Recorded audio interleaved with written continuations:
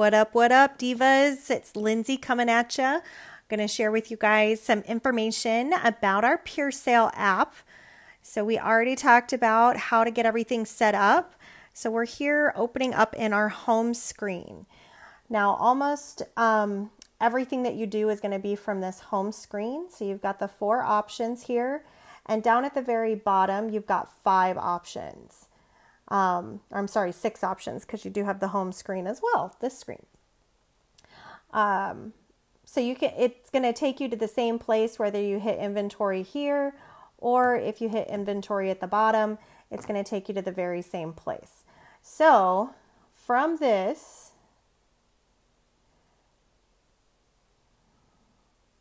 we are going to start off by um, wanting to add in what current inventory you have.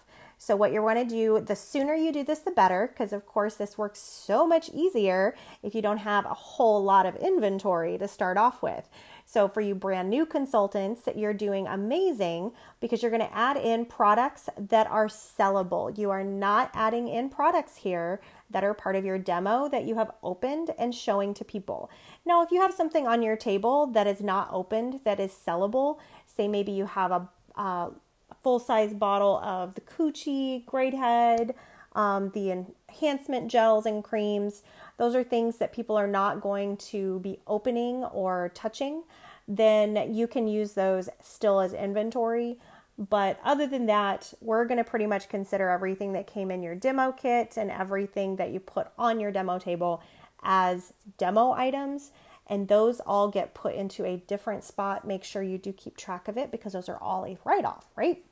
So, we are talking about things that are in your inventory, the things that you can sell on hand.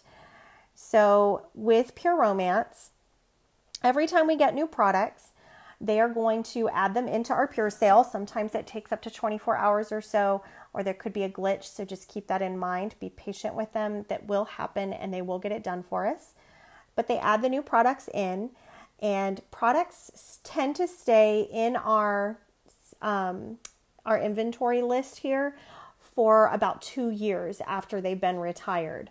So that's why you're going to see products like the hashtag gotta have it you see here at the top, the all about that lace.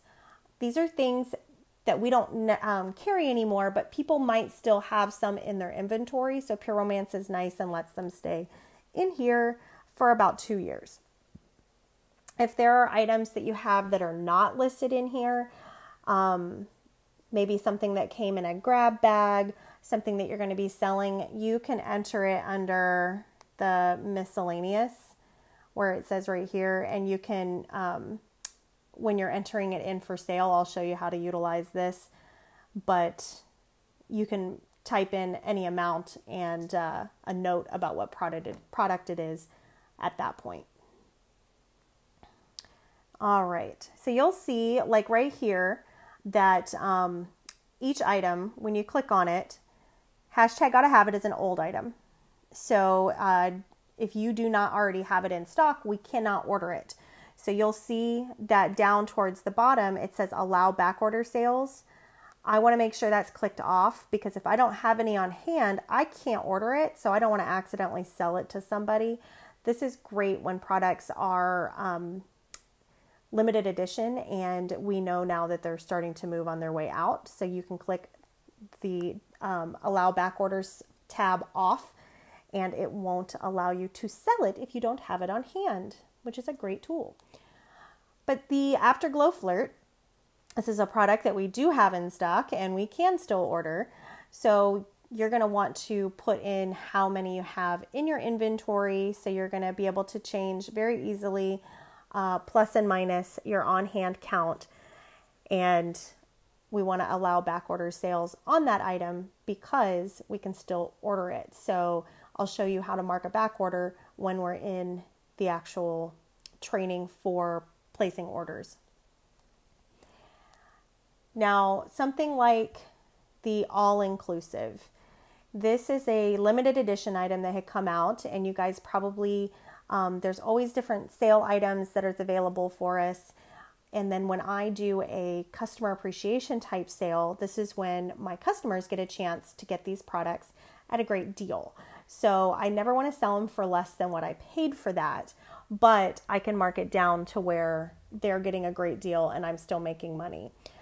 So that's where you would use that temporary sale button for getting ready for something like a flash sale or a um, customer appreciation deal.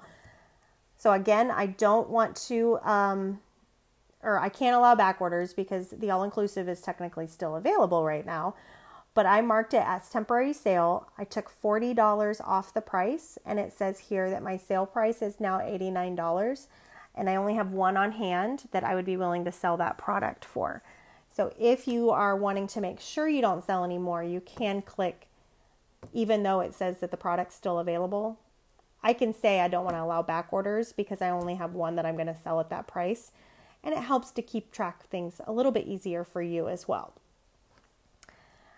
Now, each time that we order from the corporate office, you guys know we get our um, inventory list, your sales order um, sheet that comes with each order. So, when you get that in the mail um, with your products, you're going to pull it out and you're going to want to go through each item and change the amount that you have on hand. So, I just got my order in with the new products. So I would click on the Aura Juniper Bergamot and add in that I just got six more of those. So I have those now on hand to be able to sell. So you would go through and do that with every single item. I'm not going to leave that like that because I don't have the full one in front of me and I don't want to forget to add every single one when I'm doing my inventory list. So it's always a great idea to do this every single time you place an order. It's going to keep track as you place orders through your Pure Sale app. It's going to uh, subtract these out of your on hand items and it keeps track of that